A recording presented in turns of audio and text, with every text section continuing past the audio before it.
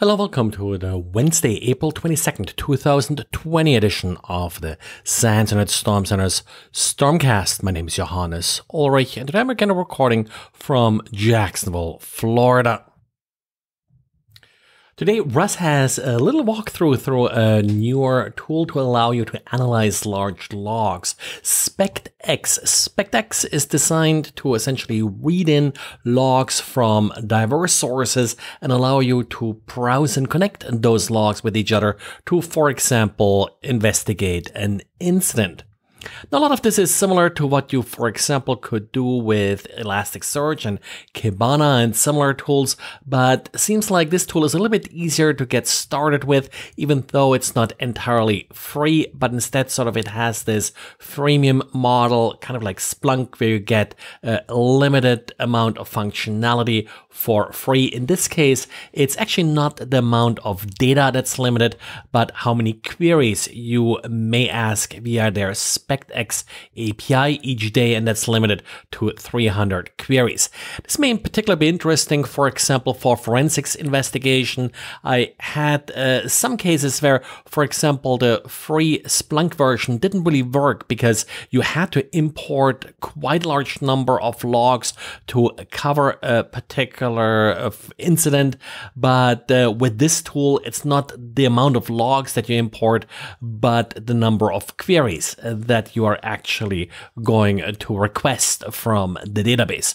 Interesting tool and take a look at Russ's write up about it. And last month, Autodesk released an update for its FBX software development kit. Now, this is something that hasn't really gotten a lot of press. Autodesk and you know, AutoCAD, SolidWorks. This is fairly specialized software, so not a huge user base here, you would think. But turns out this FBX software development kit is actually a more generic library to sort of render 3D models. And turns out Microsoft included that library in Office. Now, the vulnerability here is uh, critical. It's a buffer overflow that can lead to code execution. And turns out this FBX software development kit is included in Microsoft Office. So today, Microsoft released a special update for Microsoft Office that fixes this vulnerability by updating the Autodesk library to the most recent version. First time I've seen this for uh, this Autodesk uh, library, possibly I missed some in the past. I remember there were uh, some similar issues with Oracle's outside in library. That's a library that does uh, document format conversions and it's also included in Office and lots and lots of other software. And uh, it had a number of vulnerabilities that of course then also had to be addressed in Microsoft's software. Now, talking about including third party libraries and some of the unintended consequences, some interesting issues with the Stripe JavaScript library. Stripe, a payment provider, is often used, particularly by smaller websites, uh, to collect credit card payments. They make it pretty easy. All you have to do is include some JavaScript on your site and all the actual credit card processing is done by Stripe. So credit cards never hit your website, which is really neat because now you don't have to worry about PCI and similar issues but of course including a lot of JavaScript that you essentially can't review has some risks with it, and they're discussed in a recent uh, blog post. And what's essentially happening if you're including the Stripe JavaScript library is that Stripe is monitoring users' behavior on your site.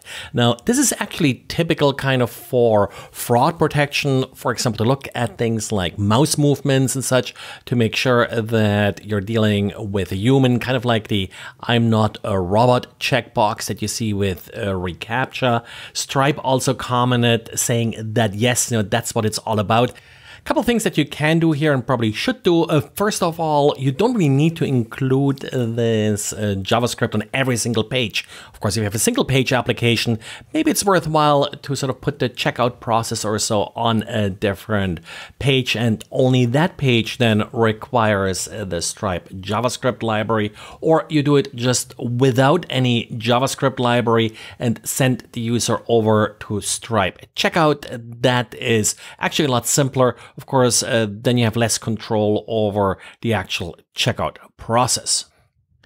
But well, I can't let you go without at least one more security tool that uh, had some pretty big flaws. IBM's Data Risk Manager, three critical severity vulnerabilities, and one high impact bug were disclosed by Pedro Ribeiro from Agile Information Security, authentication bypass, command injection, insecure default password, and an arbitrary file download vulnerability.